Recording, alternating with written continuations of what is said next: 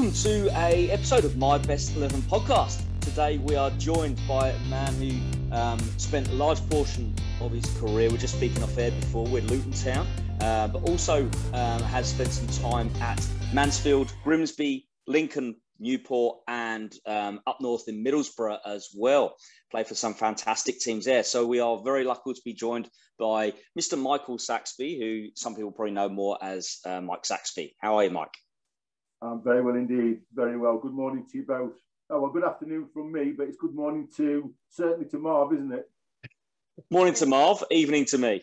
yeah, yes, right, Mike. Yeah. Morning, Mike. It is it is good morning, and um, I was just saying to Andrew before you come on, um, it, it, gave me an excuse to go to get up early this morning and go for there a run. Go. So I've been for a run and, and, and I've, I've, woken myself up, and now I'm ready to go.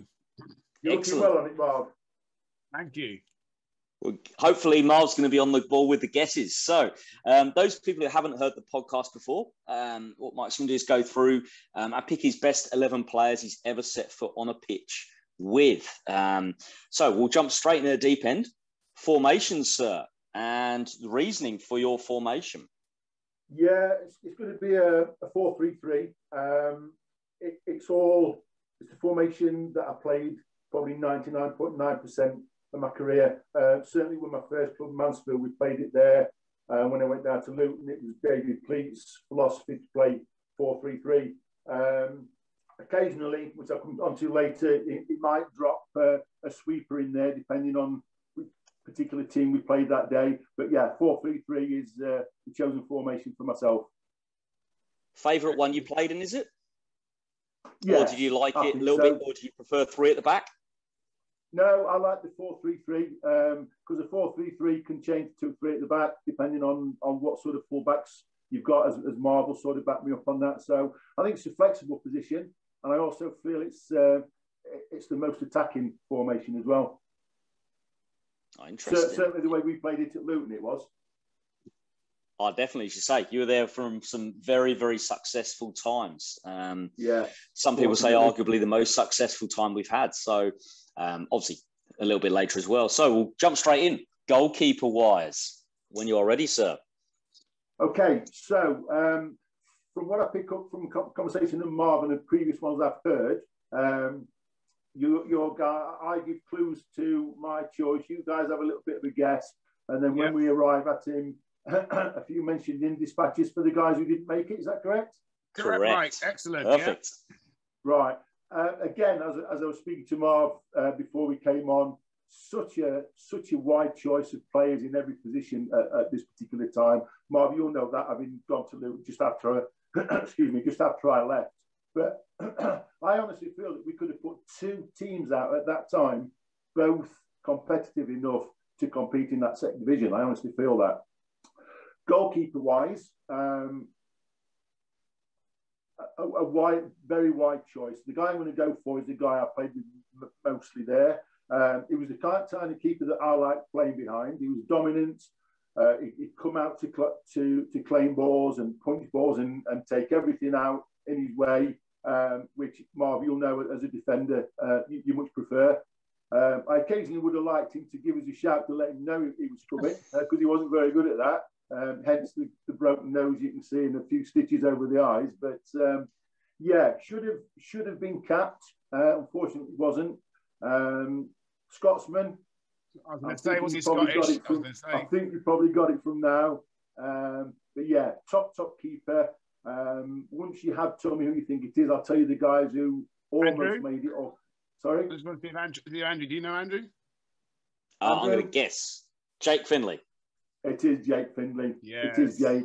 Yeah. As I say, many others that could have could have got the nod, but the fact that I played most of my time there with Jake um, just about tips the wink for him. Uh, I mean, pl- players that, that, that could have quite easily have, um, have slotted in there, the likes of, of Andy Dibble, Les Sealey, Andy Dibble man of the match at Wembley, Marv, you can probably remember, yeah. the, the, the, the League Cup. Les Sealey, character, personality, but a great, great great keeper as well, went on to Manchester United. Um, young keepers like Andy Beasley. And a guy came towards the end of my time now. I think he played in the, the Man City game where we where we won to stay up. Tony Godden. Yeah. Yes. Remember Tony? I remember him. Yeah. Yeah. I think, yeah. Uh, not taking anything away from Jake. If I'd have played a little bit more with Tony, Tony might have just sneaked in front of Jake. But the fact that I played the majority of those games with Jake just gives him the uh, the pick this time. I, I, remember brief, brief, sorry, Andrew. I remember briefly, like the likes of some of you characters, and Jake was still, I think, in and around when I was just like as an apprentice, or he might have been just coming back to games. He reminded me of um, someone who was very like just like a, a goalkeeper, crazy, crazy, loud, crazy, rash. Mark, they all are. We know that you have to be to play that position. Who wants to stand about for 90 minutes, maybe touch the ball three or four times? Cra- crazy keepers. But what, what, what, you know, he was a big lad, he was well built, but very agile, great shot stopper. And as I say, that the main thing that, that gets him in my side, he, he was, he, he come and take high balls, which, as I say, as a defender, that's um, that helps you out no end. Yeah. So, so those people who kind of, of, of a younger of a younger era, Mike, who would you say yeah. um, Jake is closest to? Obviously, when Jake was in his his prime, um, yeah. compared to the modern day keeper who's around in the Premier League or foreign Europe or whatever, yeah. who would you say is most like? In your right, opinion? That's a great question. Actually, that's, that's a great shout. I would probably have to say um, Jordan Pickford. Yep. So good with his uh, feet. Yeah, absolutely. Uh, and Jake was. Jake was as well. Yeah. Uh, I mean, these these goalkeepers playing uh, out from the back is nothing new. Uh, we used to do it then. I mean, not to the extreme that they do it now. I think it's gone way beyond, you know, how, how they should do. Uh, but, but but Jake was, wasn't fearful of getting the ball down and pinging a 50, 60 yard pass out to Mossy on the left wing. Um, great shot stopper, as I say, like Jordan Pickford. Prone to the odd mistake, uh, I think he'd be the first to to admit that. Uh, but the saves he made and the contribution he made to the side far outweighs that. Yeah, pick your 10, picks up 10, 12 points a season just from him alone. Oh, ab- absolutely. And, and, we used to pride ourselves, although we were known as a very attacking side, scoring a lot of goals, we used to pride ourselves on, on clean sheets and not let, letting many goals in. Yeah, no, and, and, and he, was big, it, he was a big factor in that. Fantastic. So moving on, you said four at the back. Um, we'll start at the right back or left yeah, back, whichever we'll one you prefer. Right back. Yeah, we'll go for the right back to start with. Again, such a wide choice. I, because it's such a wide choice, I've wrote a few down. So I hope you don't mind me just referring to notes occasionally. Um, that's fine. the, guy, the, guy, that gets in there, um, I've been in, I'm in contact with on social media still. Hopefully, when all this pandemic's over, we're going to get together in Spain and have a bit of golf and some uh, some catch up time from from the Midlands. Um, you're going to get it straight away. His nickname's Basher. marauding, marauding right back, hard as nails. Um, was known to the rest of the squad as David Pleat's son. Pleat. Why, Why was he known as David Pleat's son? Yeah. Oh gosh, he was he was Pleat's favourite without a shadow of a doubt. I mean, David bought him from Neat the Neat, which is fair enough. Sorry, uh, sorry, Mike. Come Mike. I mean, I'm sure everyone's guessed who it is, but like, let's just say his name, Kirk Stephens. Um, Kirk Stephens. Yeah. Yes. Yeah, it's Kirk. Very, very popular with the crowd. Crowd pleaser because of his hundred percent uh, attitude, his aggression, up and down that right hand side. So, so fit. Um, was he? Was he in digs with Pleaty? He what? Sorry. Was he in digs in, with Pleaty? Why he said it was his son? I just I was curious. Was he in digs with David Pleaty? no, the, the, reason it was his son is, is because David just used to absolutely adore him. As I say, which is fair enough. He bought him from money. You know all about him. Just as a bit of an example, we'd have a team meeting on a, on a Friday morning, and David's team talk would go something along the lines of, um, Findlay, when you get it, throw the ball out to Saxby. Saxby, when, when you've got it, pass the ball into midfield to Hill.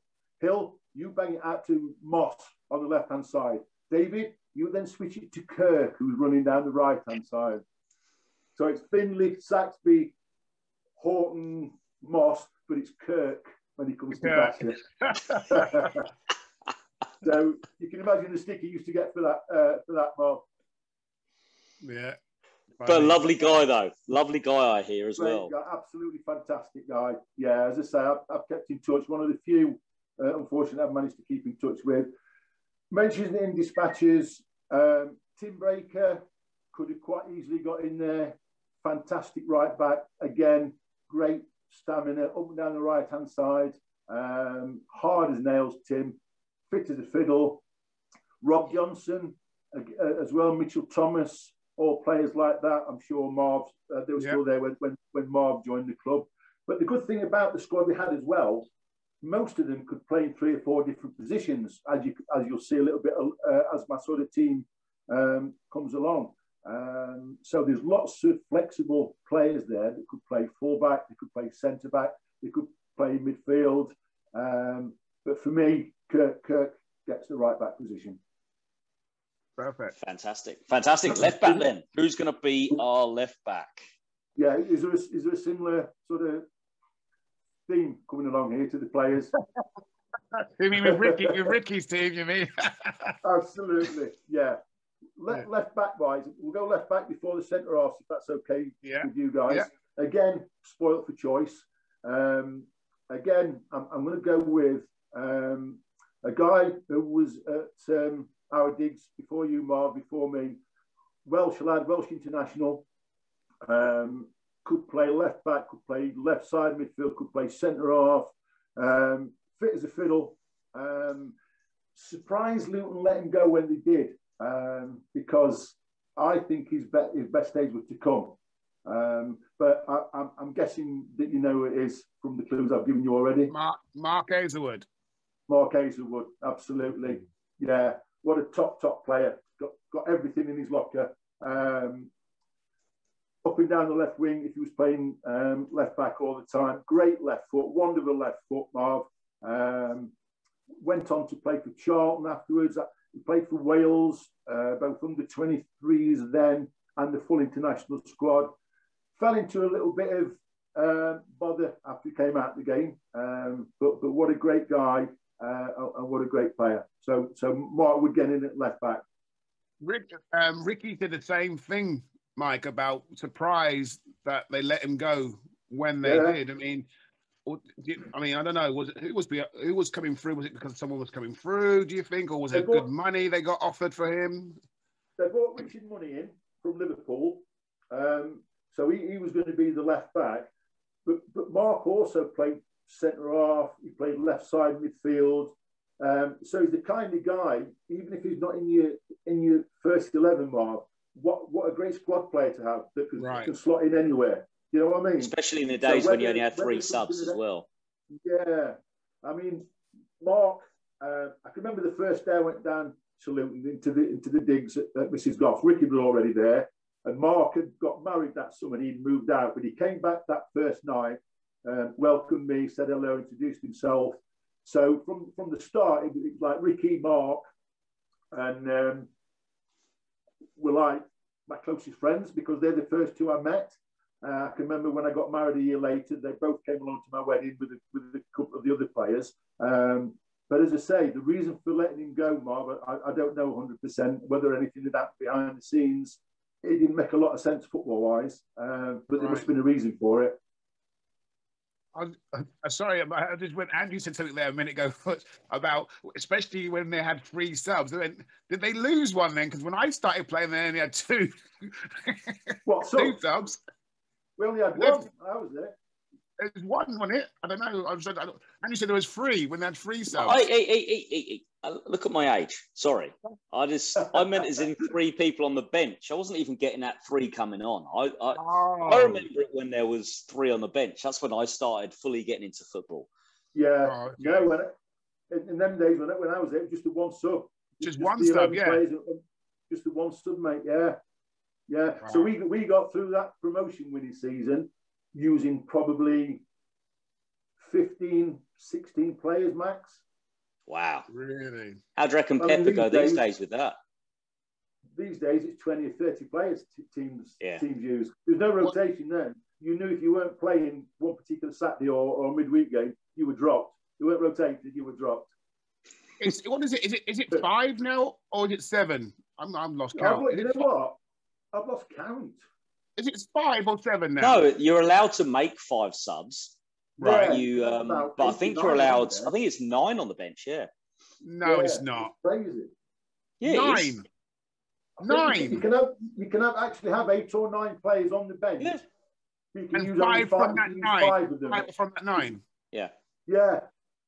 And that can be done at three times during the game. I think I think that's what it is. Like everything do you reckon, else. Do you reckon you'd have still got in the squad, Marv, or do you reckon, do you reckon you'd have got in more squads? I'm, I'm gutted because I probably would have been involved. In, like I would have been on the bench for the Littles for surely for definite. Then in 1988, I was in the squad, but I didn't get I didn't get on the bench because there was only two subs back then, mind you. Yeah, there was, there was only there was only one the time I'm one talking when I was there.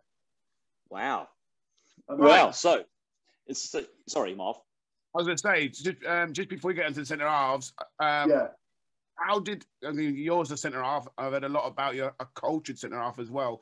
How did the move to Luton come about, or did you know there was there was like there was talking, obviously rumours that you might be going somewhere, and if that, was the case, yeah. did you think it'd be Luton? It's a great question. Um, I, I, was at Mansfield uh, from leaving school. Um, in and outside. I, you, you just mentioned about the cultured centre back. I know Ricky spoke glowingly, which was very nice of him, um, about playing out from the back. I used to tend to overdo it, a bit like some of them do now. And hey, I do. I did it. Yeah.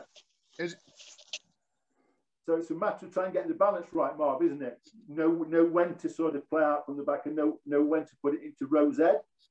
I think I eventually mastered that. Uh, uh, when I was at Mansfield, I was in and out of the team.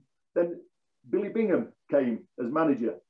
Billy Bingham used to be at Luton a lot of years ago as a player, yeah, yeah. Uh, really top player. He managed Northern Ireland, he played for Northern Ireland. And for some reason, he must have took to me because when he come to Mansfield, he put me straight in the side from his first, for his first game. And then I played every game under him until I left. So the last season I was at Mansfield, I played all 46 games. I got Player of the Year. There was talk about clubs watching Tottenham, Aston Villa, no mention of Luton. The big one was Leeds United. Apparently, the chief scout, a guy called Dave Blake, he was our, our last 10 games and he, and he was watching myself. So it looked nailed on as though if there was a move going to happen at all, it was going to be Leeds United. My contract was up. Billy was due to go on a, on a family holiday to Australia. i am not signed my new contract because I'm dragging my feet, hoping a big club comes in, Bob. You know how it works. Um, so the, it came for the day Billy to go on, on holiday, the manager, and I still hadn't signed. So he stayed behind, sent the rest of his family on holiday. He stayed behind for negotiations. Excuse me. In the end, I had a word with a couple of the experienced pros then. He said, look, if a top team wants you badly enough, they'll come and pay a fee whether you're on a contract or not. So I eventually signed. Billy went away on his holiday about three or four days after he should have done. While he was away, I got a phone call from the chairman at Mansfield Town. Luton, Luton had been on the phone. They want to have a chat to you. I said, well, I've just, just signed a new contract with Billy. He said, well, we've given Luton permission to talk to you. Uh, they've offered £200,000 for you, which was a lot of money back then. Wow, yeah. Certainly for a club like Mansfield, uh, lower reaches of third division. So I said, okay, I'll, um, I'll, I'll, I'll, go and meet them. He said, you're meeting them at Leicester Forest East tomorrow, one o'clock, David Pleat and, and uh, the entourage from Luton. So I says, fair enough. I'm 20 year old, a lad from a mining village in Mansfield, still thought he needed a passport to get out of Mansfield. And all of a sudden, all of a sudden, I'm going to meet David Pleat uh, and this entourage from Luton. Um, £200,000 a figure mentioned. I don't, I, I don't know what the hell to say, what to ask for, what to do. My dad, who's always followed my career, bless him, uh, said, I'll come with you. He said, Don't worry, I'll come with you. So he picked me up this day. We drove to Leicester Forest East. We parked up. And just to let you know, at this moment in time, my dad was the biggest Morecambe and Wise fan you've ever, you ever likely to meet. You know where this is going, don't you? Yeah, yeah, yeah. I, I can see him now when the Morecambe and Wise Christmas TV shows are on, just sat there giggling. Another time, it's just a, a dour miner, but Morecambe and Wise, he used to crack up. So we're driving down to Leicester Forest East. I said, Dad, I ain't got a clue what to say, what to ask for, what contract to ask for, what wages. He says, leave it to me. He said, don't say a word, leave it all to me. I said, fine. So we walked in the, the foyer, Leicester Forest East. We've gone to reception. Uh, Mr. Saxby here to meet David Pleat.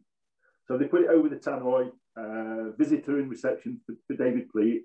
And a guy called Ken Guthrie, which was David Pleat's coach at the time, comes out, meets me and my dad. He says, Come with us, we've got a little room set aside for talks. So we walked in, introduced us to the entourage. There's about four people there David Pleat, uh, Dennis Mortimer, who was the chairman, uh, and this is Eric Morecambe. so we, we shook hands with them all.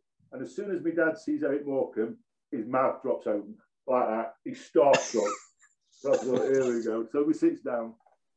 David Pleat starts talking. He says, "We want you to come to Luton. We think you can do us a good job on building a team, uh, a team, pushing for promotion.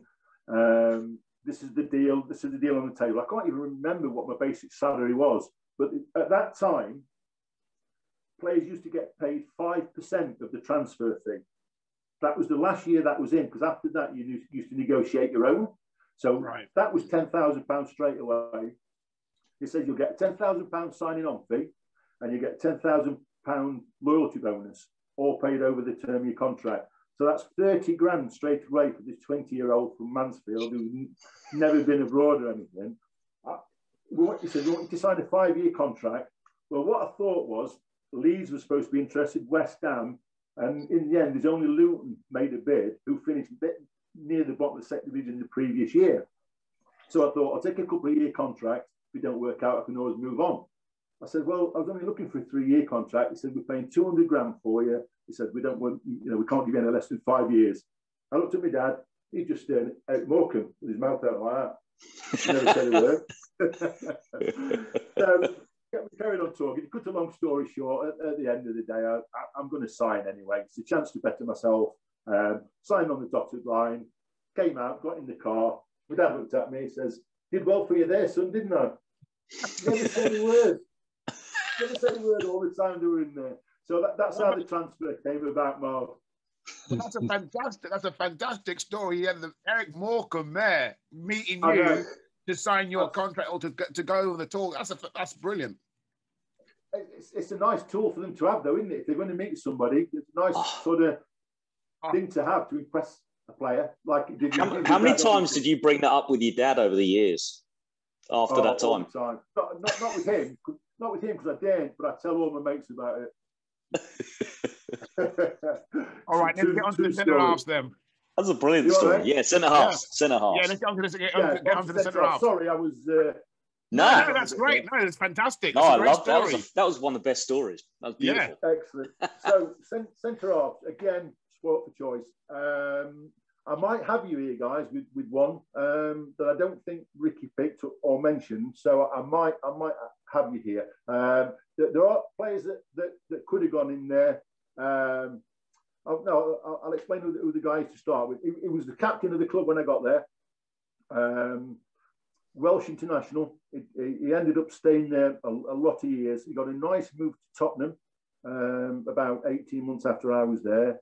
Played in a, an FA Cup final for Tottenham. It was a Welsh international. Played for Wales numerous times. Went to play in America towards the end of his career, I believe, and I think he's now living in Australia.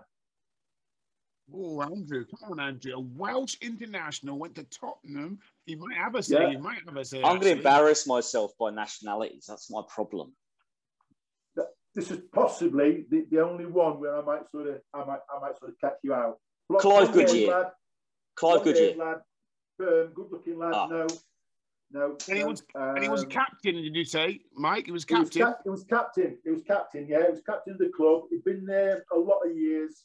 Um, he got a transfer, I think, at the end of my first season there, but he was captain for that that first season I was there. Yeah. Oh, Welsh international, no. blonde, no. blonde curly hair, good, good player. Blonde curly hair. Yeah. Welsh international, no. went to Tottenham, played for Tottenham in an FA Cup final. I have a feeling that I should know this, but no, like, go, on. Say, go on, Mike. Are you going to say his name? I know I'm going to. I know I'm going to know of him definitely, hundred percent. I'll, get, I'll give you um, Christian name to start. His Christian name was Paul. Price. Paul Price. Paul Price. Yeah. Paul Price. Remember him? Knew it. Yeah, yeah, yeah. I knew. I've seen. I, I knew. I knew. I knew. I knew it. Paul Price. Yeah, yeah. yeah. Good, good player. Very, very, very good player. Um, bit, a bit. Who can I sort of uh, liken him to? Like the likes of Colin Todd and play, players like that. Um, quick, uh, and they used to inter intercept balls, which probably didn't sort of endear him to people as much as it should. Uh, good, good engine, good in the air, um, despite his good looks. Not not many broken noses, not many stitches. That was left to me and whoever was at the side of him. But uh, club club captain, great lad. Uh, got a good move to Tottenham, as I say, captain Wales. But um, yeah, I'm stick, go go with Paul Price uh, on on the right hand side uh, of the centre backs. Um, I'll tell you the other one uh, before I mention in dispatches who could have been in there or maybe should have been in there. Um, again, you're going to get this one pretty much straight away. Absolute Rolls Royce of a player, Northern Ireland international. Yeah. Could play left back, right back, could do anything. Uh, top snooker player, you name it. Got fantastic moves to Manchester United, Chelsea, obviously World Cups with uh, with Northern Ireland. I'm sure they both got Mal, it already. Mal, yeah, Mal, Don, Mal Donaghy. Mal Donaghy. Mal Donaghy. Yeah. Mal Donaghy. Now, Yeah. the, I said earlier on about players being flexible and able to play in different positions. That first season I was there, Marv, the back four was, was Kirk, myself, Paul Price, and Mal played the full season at left back. Really? Yeah. Oh, did he have the pace Yeah. for left back? I, uh, it wasn't the quickest. That's a great, it's a Yeah. great spot, but it, it just quickness of mind, uh, positional Yeah. sense, Yeah. quickness Yeah. of mind. Um, you, you wouldn't know that he, he- he lacked pace by, by looking at him simply because he he was in the right position uh, at the right time. Yeah. He played, funny- all- played the full full season at left Yeah. at left back, and it was only when Price left at the end of that season that he moved Mal inside to play at the side of me, and um, then it was a, a mix and match job for a while, whether Mark Aizlewood play at left back or a lad called Wayne Turner. Um, but yeah, yeah. So the back four: Kirk, Pricey, Mal Donaghy, um, and Mark Aizlewood left back. Mike Aizlewood. And I was going to say, Andrew, he, he went on to play at Manchester United that's left back quite a bit as well, Mal did. Yeah, again, uh, he he even played in midfield for us at times, Yeah. and could, could quite easily have played up front. I would imagine as, as, as a support to a target man. Yeah. Just one Yeah. of those, one of those, one of those annoying people that are good at everything. You know. Well, you, you mentioned you mentioned you got obviously Paul and Mal, um, and obviously yourself playing centre back. What type of player did you prefer playing next to? Would- Did you prefer a, a bustler next to you? Obviously, if you saw his, and you mentioned as Ricky is a bit more cultured centre back. Yeah. Did you like to be next to somebody like you, or do you like to be next to a, a blood and guts? Uh, I prefer to be at the side of Pricey and Mal. To be fair, was similar, uh, similar in style uh, at centre back. Um, uh, as Marvel probably backed me up, you, you probably got a, a dominant centre half. If you're playing a back four, you'll have a dominant centre half who goes and tries to win and, and head everything, and you'll have somebody who just sort of tidies up and, sweeps up at the back of them just in case they miss any flick-ons. So I, I, I, although I like to play out from the back, I was the big daft six foot three centre half who'd go and try and head everything, uh, whether it be the ball or the centre forward or, or whatever. And Pricey and, and Mal were the ideal foil, really. Yeah. Yeah, I don't think you could. I don't think you could really play.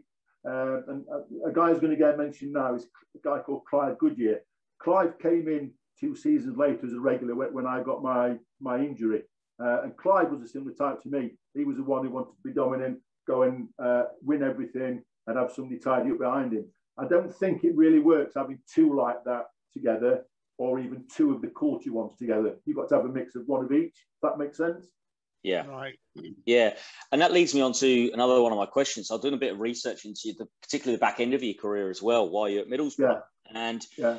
um, there was one particular man who made it very big at United, who I believe was there at the back end of your career, was Gary Pallister. Is that right? Gary was just starting off at Middlesbrough when I was there. Yeah, Yeah, yeah. yeah, Could you tell? I mean, just just I Gary Pallister and Colin Cooper was there at the same time, weren't they? Both of those, yeah. That's right. both of those two youngsters coming through. Um, Yeah. What was your job when you were at the back end of your career at Middlesbrough? Um, did Middlesbrough bring you in as somebody to nurture? I mean, these two went on to particularly Gary Pallister went on to the top top level. Um, did yeah. they bring you in to do that, or as a coach, or were you there and to play? No, do you know what I mean? As a player, pure, pure as a player. When my, when my career ended at Luton, and my, my contract came to an end, I had a five year contract, as, as I've mentioned.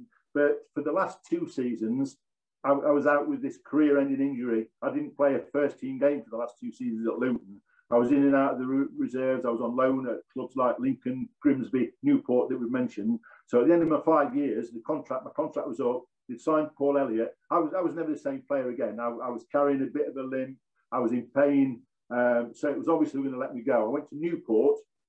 A guy called Colin Addison signed me at Newport.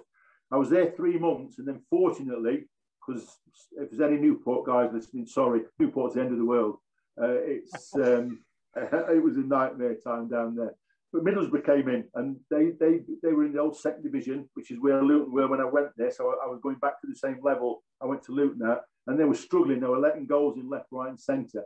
So I spoke to the manager Willie Maddren, and he said, "Look, we need a dominant centre half." He'd already had one from Mansfield, a lad called Stuart Boam, who captained them for about ten years, um, and they thought I was similar to him. So they signed me to try and shore up the defence. Um, but as I say, I, I was never the same again. I mean, I was good enough to get in their side. We kept the first four games I played, we kept clean sheets, which is what he wanted. But I was still in and out of hospital in those 18 months there, having operations um, about every three or four months or so. It was uh, it was a bad time, really. Wasn't Mowbray there then as well? Was he there then, Tony Mowbray, or not? Yeah, Tony Mowbray was there. Yeah, Tony Mowbray. That's some good lads. Tony Mowbray, Colin Cooper, Gary Pallister, Stuart Ripley. Remember Stuart Ripley? Stuart Ripley, yeah, the little winger, yeah. Blackburn, went to Blackburn, yeah. Yeah. Bernie Slaven. Bernie Slaven, Bernie Slaven up front, yeah. yeah. Archie, Ste- Archie Stephens there, yeah. That's right, Archie came there, yeah.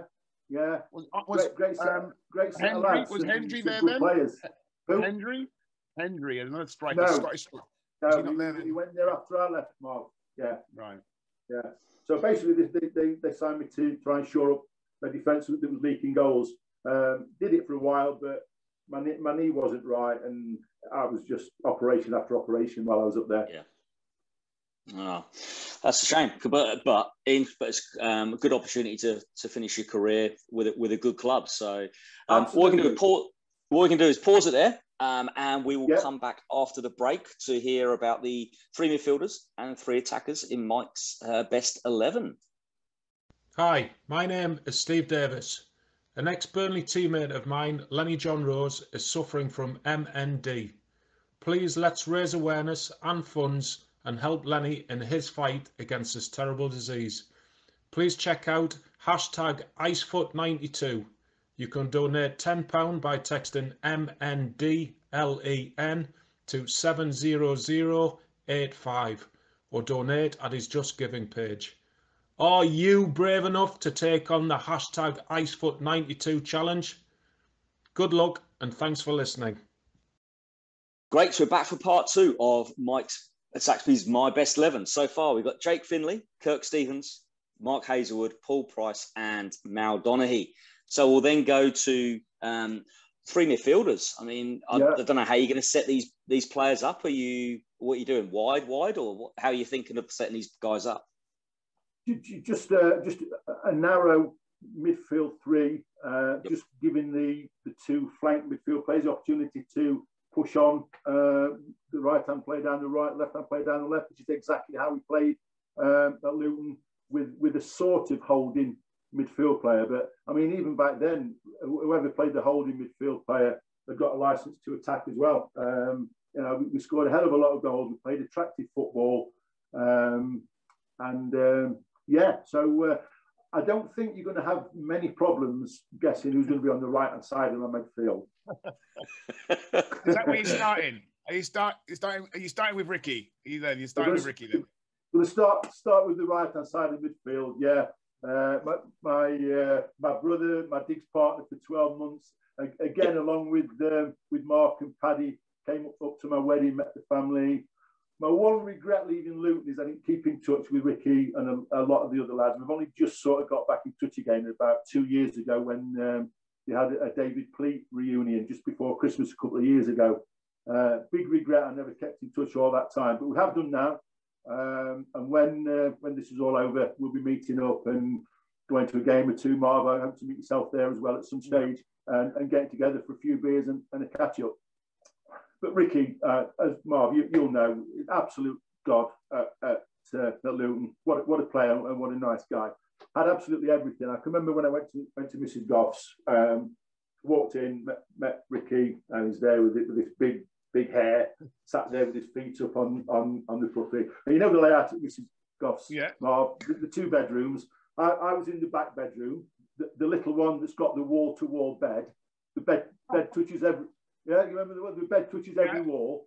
Well, Ricky Ricky's in the west wing with his walk-in wardrobe, uh, his waiter, and uh, and that type of thing. No, I'm joking. The guy, an absolute legend. I love, love him to bits, and and what a player. Why he didn't get 50 caps for England, I'll never know. Right. Any other nationality, he'd have had 40, 50 caps. Yeah, yeah, yeah. Best player you've ever played with, Mike? Without a shadow of a doubt.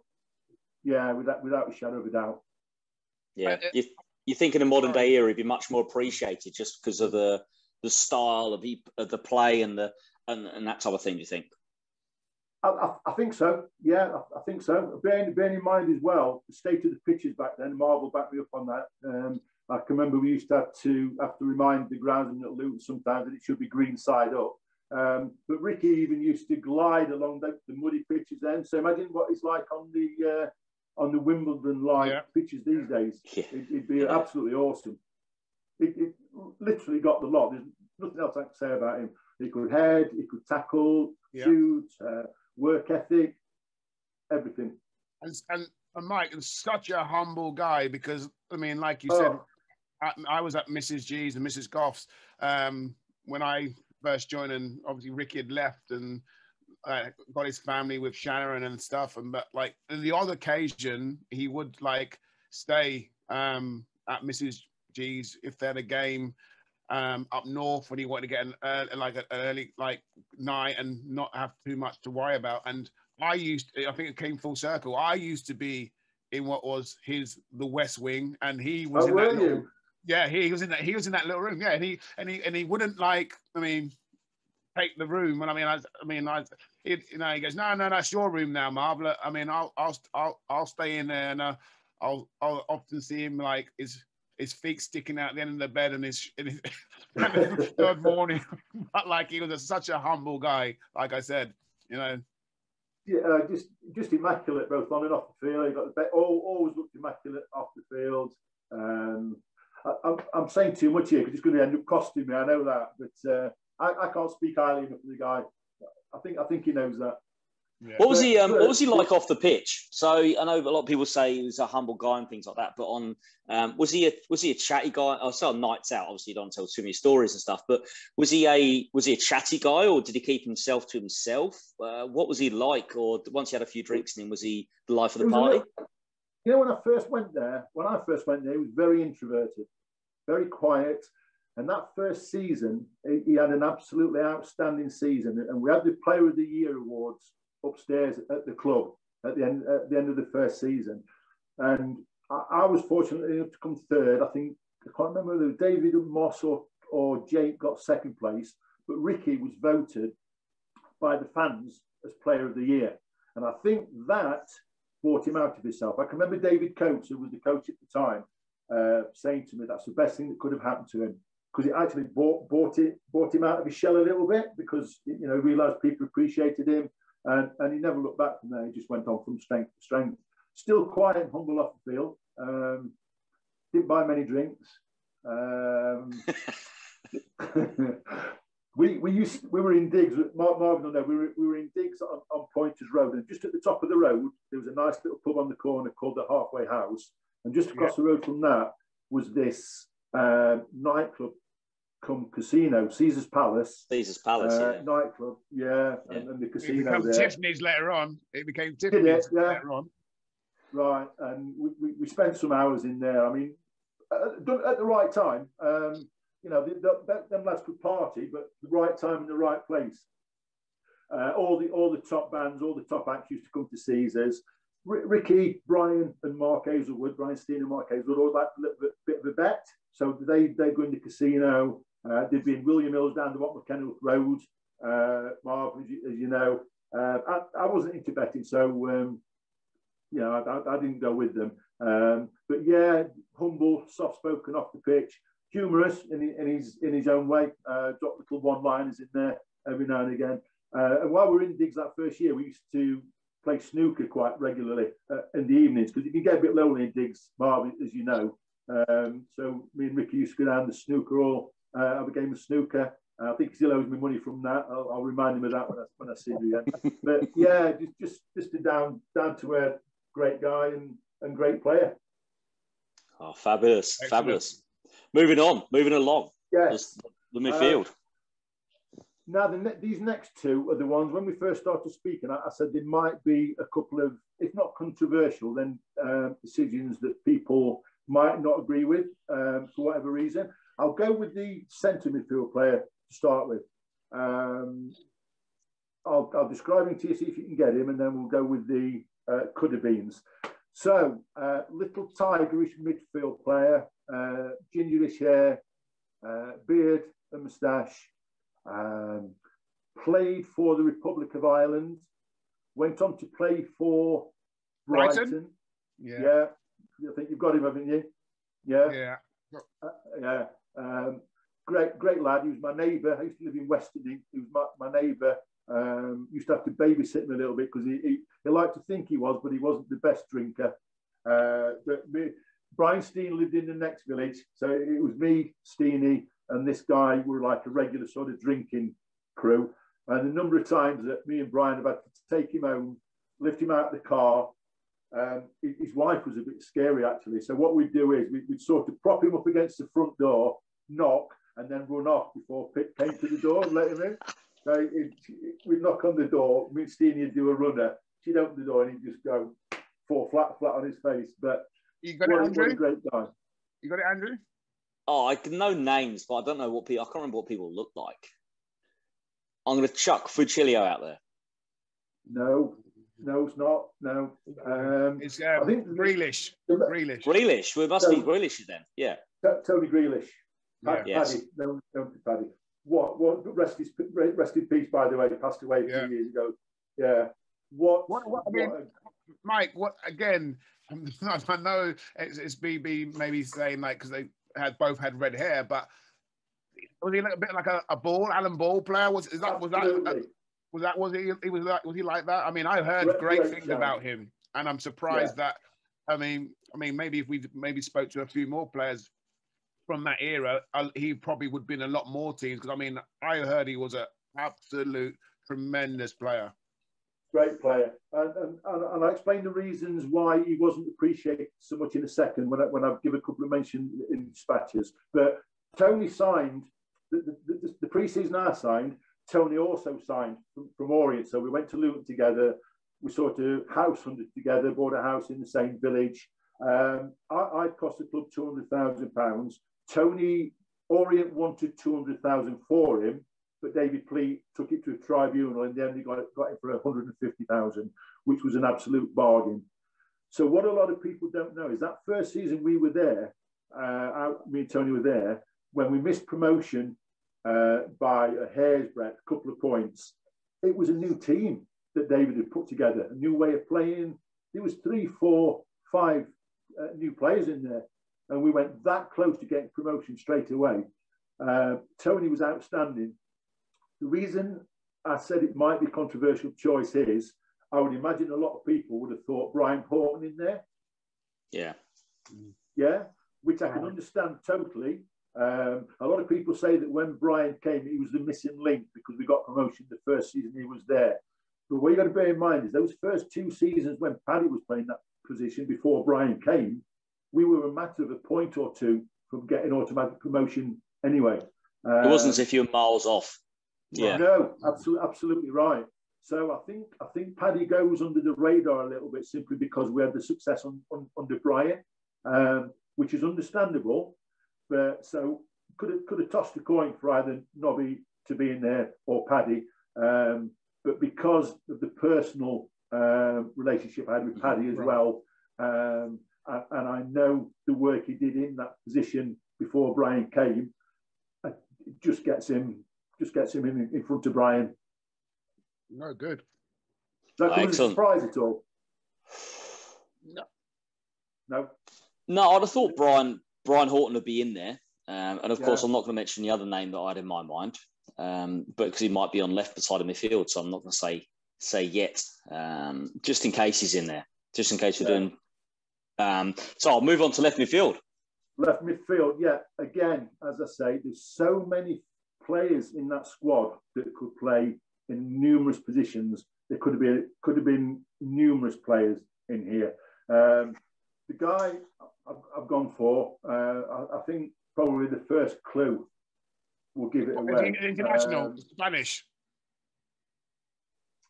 Uh, he, he, managed Spanish clubs. Is that he was yes, actually Yugoslav? Sorry, it's yes. Yugoslavian. Yeah, yes. Yugoslavian. Yeah, sorry, that's what I meant. Yeah, yeah I think he Radi. No.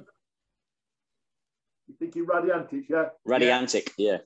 yeah, I've got to get Raddy in there somewhere. As I say, he played central midfield. He played centre half. Occasionally, when it when when we needed it, uh, David had put him in as a sweeper there. Whatever position he played, he played it at, at the very highest level. Um, yeah. So I had to get Raddy in there somewhere, uh, and, I, and, I, and, I, just think he um, he gets ahead of the other players. I'm going to give a mention to um, because of his natural ability. Great guy, absolutely great guy. Another one that we lost, uh, excuse me, not not long ago. A couple of years uh, ago, yeah. A couple of years ago, yeah. Um, but what a great player, what a career he had. And was he like? I mean, I mean, many of the Luton fans who who remember him know um, the goal at Manchester City. But just Man apart from that, Man City, yeah, was was he, te- he technically like one of the, the best players at the club? Absolutely, Mike. Absolutely. Just... There was another guy about at the time who I always compare him to, uh, and I, I, couldn't give him any more praise, and that's Glenn Hoddle. So, right. so what made? Um, I mean, the Raddy Antic obviously came over, um, obviously Yugoslavian as well. There weren't too many yeah. um, players from that kind of that particular part of the world in, in that time. Um, coming to a club the way where Luton were, of course. Yeah. Uh, but you know, why did he come to Luton? Do you know what what in what made him pick Luton in particular? Because I mean, the quality of the play, you'd have thought. No offense to Luton, yeah. I'm a Luton fan, but he could have gone a lot higher. Yeah, well, when he when he met David Pleat for talks, I presume that they met at Leicester Forest East, and they had Eric Morecambe with him as well. Do you reckon they got the Morecambe Wise show in? in... Absolutely, yeah. I, I, I, don't know. David Pleat was was a very very clever talker, very good talker. I'm sure Marvel will, will back me up in this. Very knowledgeable guy, and the way he sold um, Luton to me, because I mean, I absolutely love Luton. Uh, on social media now, I, am friends and, and followed with, as well as players, hundreds of supporters who we keep in touch with. Marvel backed me up. Luton Town's like a family. It's not a football club, mm. it's a family. Um, as I said, we, have all kept in touch. Uh, we were like a band of brothers then. Um, if we were ever out on social, it was one out, all out. It was never there was never any splinter groups or or anything like that. Um, literally was such a great team spirit. And David um, had got this vision of how he wanted Luton to play and that would suit uh, Raddy down to the ground. So I'm, I'm imagining that David, David's vision of, of, what he wanted to do and how he wanted to achieve it is what made uh, made Raddy come to Luton. No, excellent, excellent. So moving it, into strikes, moving on to. Have you got any? Um, have you got any honourable mentions? I mean, I was going to mention Alan West. I was going to mention Westy as well, and I'm yeah. absolutely distraught I can't get him in there. What a player! and, and what a great guy as well. There's also the likes of Lil, Lil Fuccillo. Yeah. Um, I, I, you know, I couldn't squeeze in there. A couple of young lads. Um, I don't know if they were there when, when you went there, Mark. Ray Daniel. Remember yeah, Ray Daniel? Ray Daniel, remember Ray? Yeah. Uh, um, Gary Parker. Yeah. Parks. Parks, Parks was at Mrs. Goff's as well. Was it, yeah, was that's that right. Yeah, yeah, yeah. Neil Madden, the lad called Neil Madden. I, I, I thought Ray and Neil might have gone on to have better careers than, than what they did because they were they were outstanding players at the time. I know Ricky used to speak very highly of Ray, uh, Ray Daniel and, and, Neil Madden. So that's why I said at the start there, I honestly feel we could have put two teams out there right. almost as strong as each other. Um, but Westy, yeah, you're absolutely right. What a great player. uh, and what a great guy. Um, he, he, he was never a regular when I got there, uh, but whenever he came in, he, he, never let the team down at all. Um, 100% great guy and great player. Unfortunately, can't quite squeeze him into this 11. oh, no, definitely. Um, so moving on to Strike Force. Yeah. The goals. Um, I would imagine two of these are going to be absolutely nailed on that you'll get it with, with no problem at all. At all. Um, the third one is one that is a bit debatable. Um, so let's start with one of the central strikers. Um, I've already mentioned he lived in the next village to me. Um, South African descent, I think. You, have got him already, haven't you? Brian, Brian yeah. Stein. How, how, can you possibly leave Steenie out of, of, of, any of any best eleven? Absolute yeah. different class. Great player, great lad. I know I'm saying that about everybody, but it's true. You'll back me up with that, Marv. Um, probably the most natural finisher uh, um, at the club in all in all my time in my five years there, uh, and there were some good ones. But natural ability uh, and natural finishing, Steenie was absolutely untouchable. Yeah. Did, did he um did he train much after the game? Or sorry, not after the game. In training, did he did he stay out? Did he hang back um to, to keep practicing, or was he literally that no, natural? He, he didn't feel like he needed to. All natural. He was he, he was too mm. quick to get to the bookies after training. He, wouldn't, he wouldn't stay behind. um, no, it, it, was all, all natural. He didn't he didn't have he wasn't blessed with electric pace, so his, his first touch and first couple of touches had to be good but they were even on those pitches back then. Um, it, it, it, was just awesome, awesome to play with.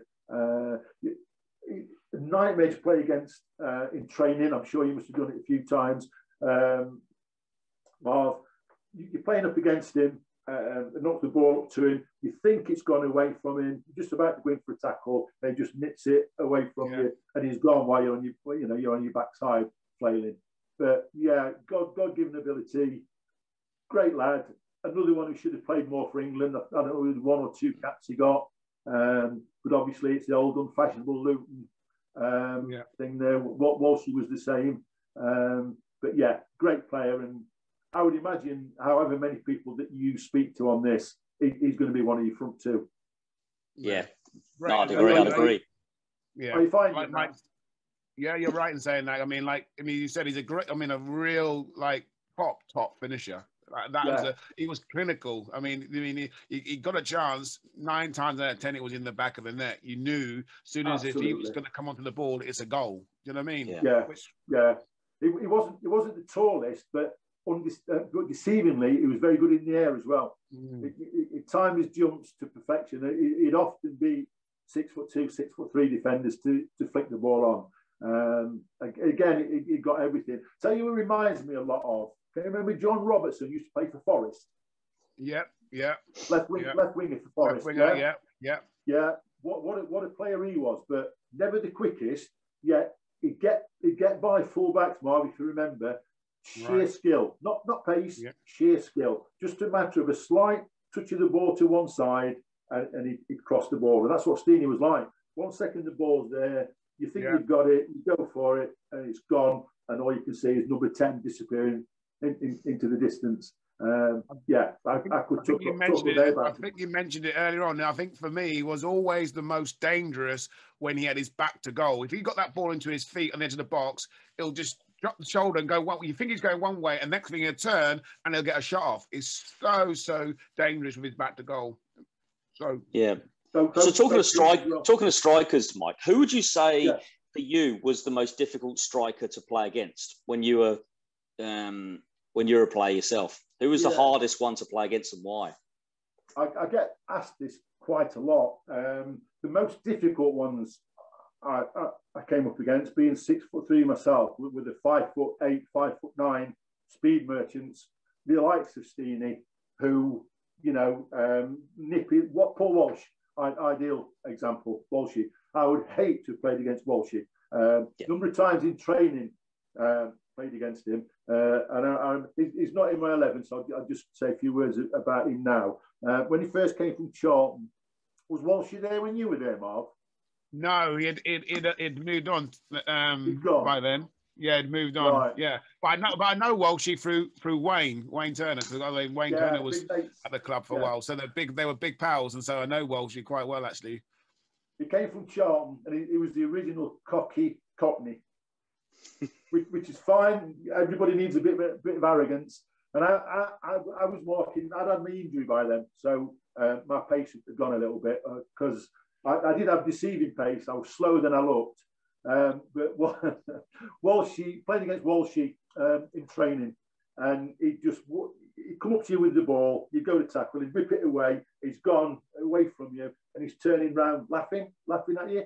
And the number of times, the number of times I'm chasing him round Vauxhalls, trying to catch him to kick him, and Pleaty's going, Sacks, Sacks, no, don't. But don't worry, David, I can't catch him anyway, so it's, it's not going but that's the type of player I didn't like playing against. I yeah. preferred playing against the big six foot two, six foot three players who about as mobile as I am, um, who I can go and be physical with to to, to try and win the headers. Uh, probably the hardest one I say that I played against was a guy called Peter Withe. Yeah. Remember Villa, Peter Withe? Aston Villa, Forest, Aston Villa, Aston Villa yeah. Will, yeah. Will, um, European Cup winner. Yeah. Hard as nails. Yeah. Um, I think I had my nose broke a couple of times by his his, his elbow. Um, but at the end of the game, it was always a shake hands, Marvin in the bar afterwards, have a beer, you know. So um, I, I, used to relish games like that. But yeah, I would, I'd say Peter Withe was probably the most, the hardest player I played against. Yeah, and and how do you think you go in today's way of playing football? Because it's changed a little bit, but I mean, or or are you one of these people that looks at football these days and go, do you know what? It's made far too complicated. I'd do all right in it because football's football. Yeah, again, it's a great question. I mean, the, the, six foot three defenders that go and win up the balls in the air, the air uh, are out of fashion to a degree. Um, I believe I could have played in the simply because, uh, as Ricky kindly said, I was, I was, known as what, what what's known as a, a football centre half. So I was comfortable on the ball. So as you can, can you see now how they play out from the back and the the centre halves get it and they roll it to the fullback. And I still think they overdo it now. I think there's a time and a place. I think it costs too many goals. But because I had that ability and because the pitches are so good now, I still think I'd be able to uh, to hack it. Maybe not at the very top level, but but yeah, certainly. Excellent, excellent. So moving on next to Brian, who's supply? Who's feeding Brian? Right, feeding him is going to be um, another guy, another funny guy. I'm in constant touch with on social media. Funniest guy I've come across in, in football. Um, one of the best players as well, one of the best wingers, best penalty takers. I think, again, you probably already got him. We signed Mossy. him from Swindon. Mossy. Mossy. Mossy. Yeah. Again, he's going to be in any any best Luke 11, I would imagine. Um, absolute top top class player and, and top guy as well. Uh, the number of goals he scored um, as, as, a winger, uh, despite the fact that he took the penalties as well, was phenomenal. Uh, and what a lot of people forget are the number of goals that he created from others as well. I know as a centre half, I should have scored a lot more than I did, but of the ones I did score, I would imagine 99% of them were made by Mossy either from a corner or, or a free kick. Um, just had, the, had this habit of we, we got a bit of a, a signal going where he'd, he'd stand on the ball, he'd put his he'd look up, he'd put his left hand on it, and without even taking a step back, that's when I started my, my run. Without even taking a step back, he'd just ping it in with his left foot. I've got a yard on the defender, and if I if I was better than I was, there'd have been more goals there. But um, it, it, was outstanding, absolutely outstanding, and and great character to have in the changing rooms as well. Um, again, another one spoken really highly of by many players throughout the years. But yeah. again, I mean, I'm surprised didn't play at the very, very top level of like we took. You just mentioned um, what was his name? The one at Forest, the winger. Robinson. What his name? Robinson, Robert, yeah. I mean, Mossy. I mean, was I mean the things I hear what Mossy could do was probably as yeah. like on the same level as Robinson. Yet, I mean, Mossy didn't Without doubt. aspire to that sort of team. Mm. Yeah, no, I, I, I'm. Um, I don't know why he didn't play higher. I think Ricky Ricky mentioned the when he did his about the players that got to play for England during that time. There was, there was Ricky himself, there was Brian, and there was Walshy, all played for uh, England while they were at Luton. Mossy should have done as well, without a shadow of a doubt. His goal output and, and his assists justified him getting at least one England cap for them to have a look at him, without a doubt. I, I just think, again, it's the unfashionable Luton thing. Yeah, right. Yeah, does that does that bug you? Um, as obviously a Luton, um, Luton a player, because I see it from a Luton fan perspective, but as a player, yeah, yeah, to, to, a degree. When, when when you see the likes of people that you've got close to, you know their ability, you know their character, and you see England teams being picked month after month with players in there that can't can't tie their bootlaces, then yeah, it, it does rankle. To, to be fair, um, and, and they're not picking them just because it's little Luton Town out of the second division. If you're good enough, you should be given a, um, a platform to be able to prove it. I, I think. Uh, the fact that the fact that Ricky, Brian, and Walshy got in the England team while they're at Luton, t- to me, makes it a bigger achievement than it actually was. Yeah. The fact yeah. that the club they were at, you know what I mean? Yeah. Yeah. Yeah. So no, every, one it... every one of just no, mentioned should have had more than the number of caps that they got, without a shadow of a doubt. No, I agree. I totally agree with you, and it'll be interesting to see going forward if they if England if the England management are going to start to pick some players from outside of the big teams, or if it's just a case of the same old, same old every week, every single time. Um, which, which, is uh, what it seemed to be with England for a while, hasn't it? Yeah, yeah, yeah, yeah. To be honest, to be honest, but that that's that's a conversation for a different place, different time. We're here to sure. talk about your no. best eleven. Yeah. So, um, moving on to the other side, then next to also feeding Brian. Yeah, down, down the middle with Steenie. Again, um, spoiled for choice here. Um, yeah. Again, I'm, I'm changing my mind as, as we sit here. Uh, when, I when I first got to the club, um, that first season, the front three was Stein, um, Moss, and Bob Hatlack or Bob Hatton. Yeah, I know Bob. Remember Bob? Yeah. Yeah very very experienced player. Um, played played for Birmingham uh, before then. That first season, Bob was so unselfish. He scored so many goals, uh, but his hold up play and his running, Bob was so unselfish. As a defender, if you need an outball, you know if you've got somebody up the front there who's always available, makes your job a hell of a lot easier. Yeah. So whenever you're under pressure, we used to look up, and, and Bob, because of his experience, had got a yard or two of space. Just ping it into him he'd only took while the likes of Ricky or, or West got to support him, uh, uh, and we were on our way. Um, just, just, just a quick funny story about Bob before we go any further. When I first got to Luton, I told you how I was naive and uh, big, big signing for from a little club. First training session, uh, we're up at Vauxhall. Did you used to train at Vauxhall, Marv? Yeah, yeah, we did. Yeah, we did. Yeah, flight path to Luton Airport. Yeah. Uh, every yeah. ten minutes, 300 yards over your head a jumbo jet. First training session, uh, we've got the usual warm up. It's, it's, four groups, and all you're doing is you're collecting the ball, you're knocking, you're knocking it to um, a member of another team. You're following the ball, get behind that group, they control it, and do the same. So we're doing this little drill. I'm like the red arrows. The ball's the ball's going everywhere, bouncing off me, Bob. It's going everywhere. I thought, oh Jesus, what are they all thinking? And we, we come to that end of that drill, uh, lasted about 10 or 15 minutes, and two experienced old pros are, stood there talking. Bob Hatton, who I've just mentioned about, a lad called Alan Birchenall. I don't know if you can remember Alan Birchenall. Yeah, Alan Birchenall. He play for Birmingham as well. Birmingham, yeah, and Leicester, yeah. Chelsea, yeah. Cockney lad. Just after Mossy, the second funniest guy in football I've ever met. Ever met. And they're talking. I've walked by him, and I just heard Bob say to Birch, "Has he passed his medical yet?" I thought, oh my word. um, fortunately, it only went up from there, but just, just a little funny story. But at the end of that first season, uh, if I was picking that team then, Bob Hatton would have been, would have been a shoe in. Second season, we signed a lad called Steve White. Yeah. Remember yep. Steve White, Bristol yep, Rovers, yep. Swindon? Yeah. Swindon. Whitey came in. Uh, I'm sure he won't mind me saying, not, not the brightest lad, but a smashing lad, and, and he came, and the number of goals he scored that season were, were unbelievable.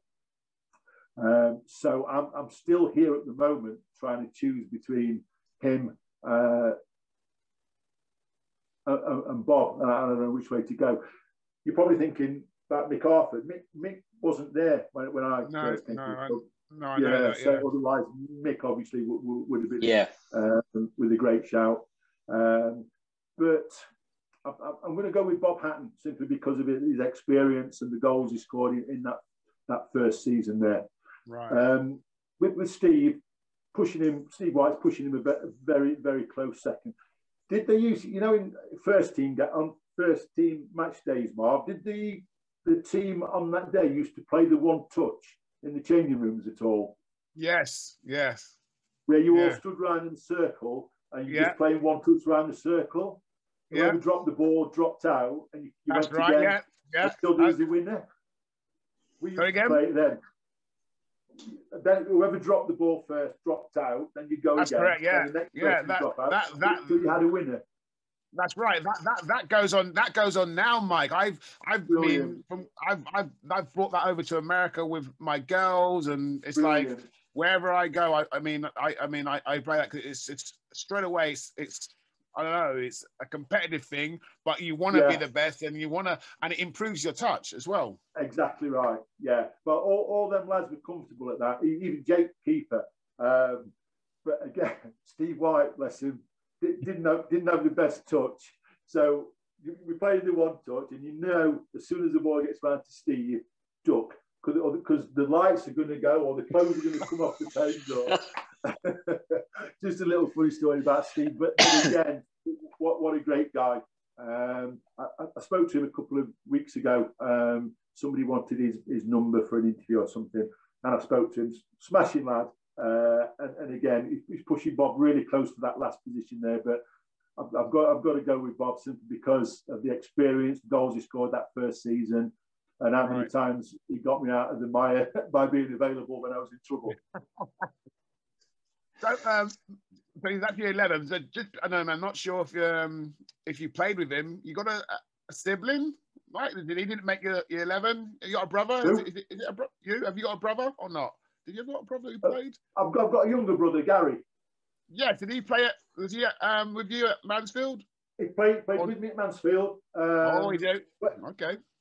He got he got to move. The, the, season I got to move to Luton. He got one. He got he got a transfer to Northampton. As you know, Luton and Northampton are very close, so we, we, we kept in touch then. Marv, he, he had all the ability in the world. Uh, better better footballer than me, uh, touch wise, midfield player, two good feet, but he, he wasn't he, he, wasn't all that bothered about being a footballer. Hard to right. believe. I mean, I had to come out of the game through injury. I had no choice, and and I, and I was I was broken over it. I, it took me a long time to get over. Um, but he actually came out of the game. Uh, his choice to come out of the game to go and be um, um, a, lear- a, car learn- learner learner driver, oh, traffic okay. uh, driving instructor. Driving instructor. Yeah. Driving instructor. So he came out of the game of his own choice to go and do that. Um, and I he was a midf- he was a midfielder, and he and he was, and, and you said he was better than you. Would you say technically? Great, great ability. Both feet, ping a ball, both feet, thirty yards. Yeah, but as I say, didn't have the didn't have the bottle or the heart to, uh, okay. to, to do it and it's and it's not i mean i would like to say mike that it's normally that is the way i mean when you've got an older sibling the younger yeah. one is probably watching and seeing obviously what you're doing and so they're going to be taken along on the journey um, a lot quicker than than what yeah. you are and then be a better player so to speak yeah. i mean it didn't it didn't work that way with ricky because i mean i remember ricky was it ricky andrew who was saying about his brother who went on to be a lot and got a degree or something he said yeah he was an unbelievable player unbelievable yeah. player. Yeah, so, it's not for, it's not for everybody. You know, everybody no. to their own. But um, I'm, I'm, sure you, like me, can't understand somebody leaving the game of their own choice to go and do to go and work for a living, so to speak. Crazy. Never mind you two who can't. You made professional. I, I can't understand it myself. Somebody being a fan, I'd, I'd, I'd, beg to be able to put a shirt on and play a competitive game for Luton or or anybody yeah. really. But so absolutely. you've you've mentioned. Um, I think this is probably me as worse a kept secret as Ricky Hill being on your right hand side. Who would yeah. be your best manager you ever worked under? like I said, this is probably a worse kept secret. Uh, uh, I mentioned Billy Bingham earlier. He'd have to be in with the shout. Um, but because of him giving me the opportunity to play at the top level, by making me a better player, um, and the style of play that he, he, he got us playing while I was there, it's got to be Pleaty. It's got to be David. Yeah. I mean, I know, does, it, was... does it surprise you he's still, I mean, he still commentates. Um, I mean, yeah. he hasn't had a management gig or anything like that for, oh, must be knocking on door of 20 years now. I know he still does a yeah. bit with Spurs and things like that, but does it surprise you he's still there, or is this as he always had? You mentioned he always had that passion and that just knowledge. That, that's the word, knowledge. I think. Um, I think the best will in the world. I don't, I don't know what Marv thinks. David was was a brilliant coach. Get you get David out on the, on the training field, and there's nobody better. I personally think his man management skills lacked, lacked a little bit. Yeah. As in, as in, it seemed to me as though he, he, tried to treat every player the same off the field, whereas some people need a hand around the shoulder, uh, as Marv will tell you. Some people need a kick up the backside. I don't think he mastered that part of the game. Um, but as I say, as, as a coach, when he's out there on the field coaching players, I've never come across any, anybody better. Did he? Do you think he preferred that? Do you reckon he preferred being out on the on the training oh, ground? without a doubt. Yeah, without a doubt. to me, although he does commentate, he doesn't look totally comfortable to me uh, when he's got a suit on and he's being uh, he's being interviewed, and um, I don't know, he just doesn't look totally. He likes the commentary he, stuff where he can talk about the tactics and that type of thing. You reckon exactly. he prefers being up up in the ga- up in the gantry rather than down in the Absolutely, studio? Yeah, no no cameras yeah. on him. All you can do is hear his voice and, and his, his expertise. Um, but as I say, put, put him in a tracksuit and game on, on, on a training field.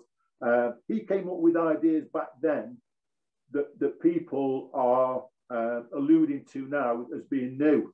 Um, yeah. I think I think we were one of the teams to play with a sweeper when, when he bought when he played Raddy at sweeper and three at the back sometimes. Um, we certainly all played out from the back. Uh, we didn't do it to the, the degree they're doing now. It's costing goals because there's a time and a place but we certainly played out from, from the back uh, back then. So all I think a lot of people have said this, the pressing game. A lot of people have said it's the pressing's what yeah, David started off as absolutely. well. Absolutely, yeah. Because the, the three lads I've got up front, uh, include Steve in that.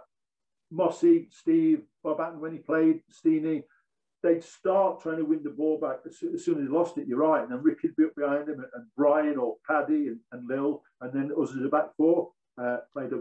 You're right, spot on. Um, and these are all ideas now that people thinking new. We were doing them mm. 35 years ago. I agree with what Mike said. That, what Mike said there about um, David being like he was an excellent coach. I mean, he was um, um, the manager that signed me as an uh, apprentice, but like um, I mean, he left to go to Spurs um, yeah. before I made my my debut. But on the field as a coach, like you said, he was second to none. He, I mean, his drills, his like his whole way how he he wanted us to play, and it was like the yeah. ball movement, quick touch, play quickly, and all that. It was brilliant. And then going on to the um, man management skills, I probably would probably slightly agree with you there as well. But I feel that it was more of a case with David.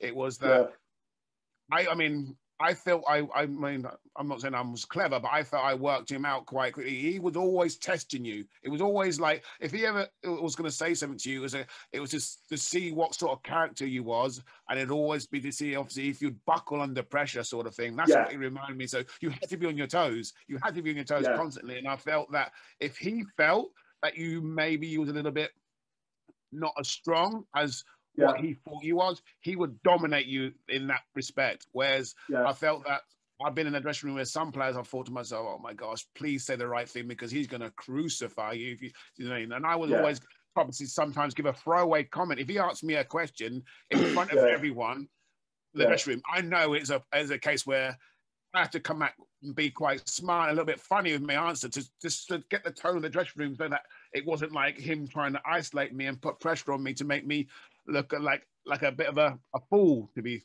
to be yeah. honest. Not, not to say that he's trying to make me look an idiot, but like he'd always sort of like try and get an upper hand some way. And so I'd always try and get a, an answer back where the lads would be laughing and he and he'll like give a little nod sometimes and just like clever Johnson. I said, "Hey, clever Johnson, well done, well done." Sort of thing. You've, you've, Marv, you've absolutely nailed it there. That is exactly what what he's like. Yeah. Um, I also, I the time I was there as well, I don't know if it's the same when you was there, a lot of the players were like that as well. They, they if new players came in, they, they test the new players to see whether yeah. they're going to fit in all right. Is that was that the same with yourself? Yeah, always. always. Yeah. You know what the dress the dressing room banter's like, Mike. I mean, oh. if you if you're new if you're new coming to the dressing room, I mean, I think some of people I can't think who it was on here. Someone talked about it. I think Andrew said about who was it? Someone said about their clothes. They were laughing at their. Someone was taking the mickey uh. out of someone's clothes. They walked in the dressing room and said, what are you wearing?" And just like straight yeah. away on day one, who was that? On day yeah. one, they said, "I think I think Fozzie was laughing at someone's clothes." Oh, you, now you, went that for a joke. Are you wearing that for a joke or something? And it's like he thought, "My gosh, is he is he talking to me like that?" Sort of thing. I can't think who that was now. Yeah, it, it, was brutal at times. Brutal. Yeah, brutal. But, but it, was, it, was, character building as well. yes, it was. Building. It was. It was massive character building, and I think a lot of the things which I mean, what goes on now is probably a little bit timid, I'd say, compared to what yeah. Some of the things what went on in our day, Mike. Trust me. You wouldn't get away with it these days, Marv, would you? No, no, no, no, not at all. Not at all. Excellent. So um, we all also like to finish just by finding out what you're up to these days. Yeah. Um, Mike, if you're still involved in football or um, or other stuff as well. Um, I know obviously lockdown at the moment, but coming out lockdown yeah. and what, what type of thing you're into? Well, since I finished football, uh, when, I, when I first uh, finished football at Middlesbrough, I went straight into the pub trade. Yep. I spent most of my time while I was playing in the pub, so I thought it'd be a natural progression to, to get a pub after I finished playing. Start earning it rather than take money over the bar Absolutely. rather than passing it the other way. Yep. Absolutely, yeah. Uh, we then started a family. I didn't, th- I didn't think it was the right sort of environment to bring kids up, so I got out of that. And pretty much for the last 20 years, I've been in, in sales in, in some way or another, selling something, whether it be newspaper advertising or um, whatever, uh, three or four different sales jobs over, over the last 20 years. Um, at the, at the last 12 months, I think I've been furloughed for about nine months of them, so I'm being paid to stay at home, uh, which is a little bit boring, but I don't mind I don't mind in this weather. Uh, it, was a bit harsh uh, in, in, the winter. Um, football wise, well, I, I, like I follow Liverpool, so I, I, keep up with football on the TV. I don't go to a lot of live games. Uh, occasionally, I do a little bit of um, commentary on Mansfield Town. They ask me occasionally. I used to do it regularly, but the the quality of football down there at the moment is so poor. I tend to pick my games a little bit more. Um, I'll do the FA Cup ones, the FA Cup run. Yeah, absolutely. Yeah, yeah. Liverpool in the third round. Uh, yeah, I'll do that one. Yeah. Um, but yeah, my, my, son played to a good non non league standard up until recently. He's got a little bit old for it. He's also got a grand uh, a son now. My grandson, five years old. He's he's mad into football. Um, so yeah, still pretty busy. Uh, football, football once football's in your blood, I'm sure you'll more agree, it, it, it's always in your blood, uh, whether you're yeah. playing it what, or, or whatever. Um, and again, thankfully, I've got back in touch with a few of the players that we've just been talking about in there. I'm in touch with them social media wise. And um, we're all going to get together after all this uh, this mess is over and uh, have a beer or two, reminiscing on some of the things we've just been talking about.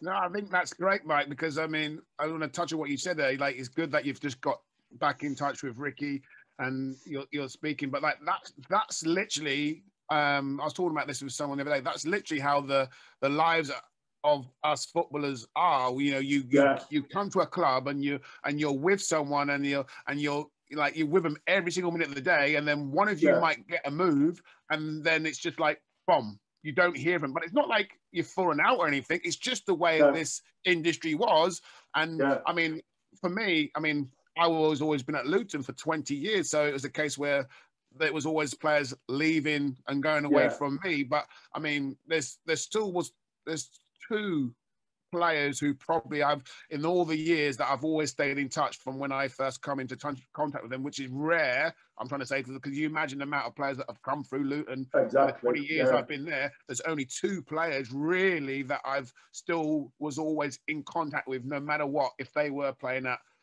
um, Stoke or Preston or wherever. I mean, yeah. so that just shows you that that's the, how it was in our industry. You know, well, as I said earlier, when, when I was there, I was there five years. Most of the players there were there for the whole of that five years. One or two uh, came, came and went. Uh, but as I say, it was only probably a smaller squad then because they only used one one sub, so you didn't need as, as, big a squad then. And as I say, we really were a band of brothers then. We were so close, all of us. And and I think the, the saddest thing for me was that last day, I, had gone into the ground because I'm still suffering from a knee. I was still having some treatment from John Sheridan that I've been doing for about the previous two years. And um, I went in that last day to pick up my boots, and I didn't I didn't see one player say cheerio to or, or, or anything like that. Just John Sheridan didn't see the manager, didn't see a player because it all broke up for the summer.